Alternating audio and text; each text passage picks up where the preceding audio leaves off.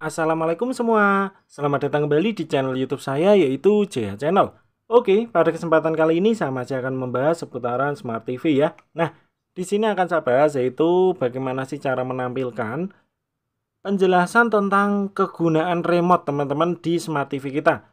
Jadi misalnya di sini ada tombol ABCD atau tombol info nanti gunanya apa sih? Nanti bisa muncul di sini teman-teman. Bisa kita pelajari juga fungsi-fungsi remote di sini. Oke. Caranya sangat simpel sekali teman-teman. Misalnya TV-nya sudah nyala, teman-teman tekan tombol home di remote ya. Nah, nah setelah ditekan tombol home kan muncul banyak menu yang bawah ini. Teman-teman langsung cari yang pengaturan teman-teman ya. Oke, di sini teman-teman cari pengaturan. Nah, nanti akan muncul banyak menu lagi seperti ini. Perhatikan di sebelah sini teman-teman bisa dipilih yang umum. Kemudian tekan tombol kanan. Kemudian teman-teman bisa pilih yang aksesibilitas yang atas sendiri, enter. Nah, di sini teman-teman bisa turun ke bawah dicari ini ya, mempelajari remote teman-teman.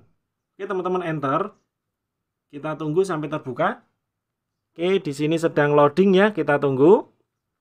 Nah, di sini ada keterangannya teman-teman ya, tekan tombol pada remote control untuk mendengarkan informasi suara misalnya tekan tombol return dua kali untuk keluar. Jadi teman-teman misalnya nih eh, kita ingin mengecek nih, mengecek tombol plus. Ini untuk apa sih? Kita tekan. Nah, di sini nanti akan muncul gerakan ke atas untuk memperbesar volume suara.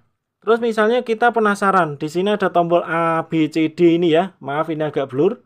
Saya tekan tombol A. Nah, tombol A itu di sini keterangannya red teman-teman seperti ini.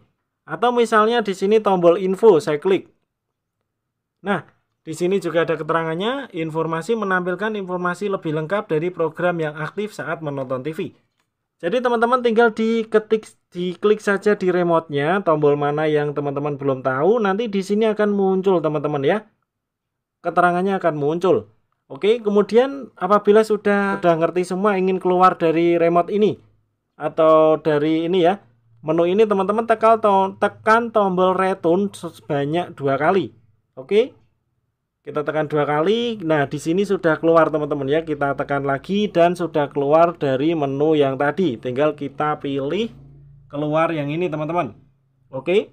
Nah oke mungkin sekian dulu trik dari saya. Bagaimana cara menampilkan mempelajari remote ya atau keterangan remote di Smart TV kita. Terima kasih. Wassalamualaikum warahmatullahi wabarakatuh.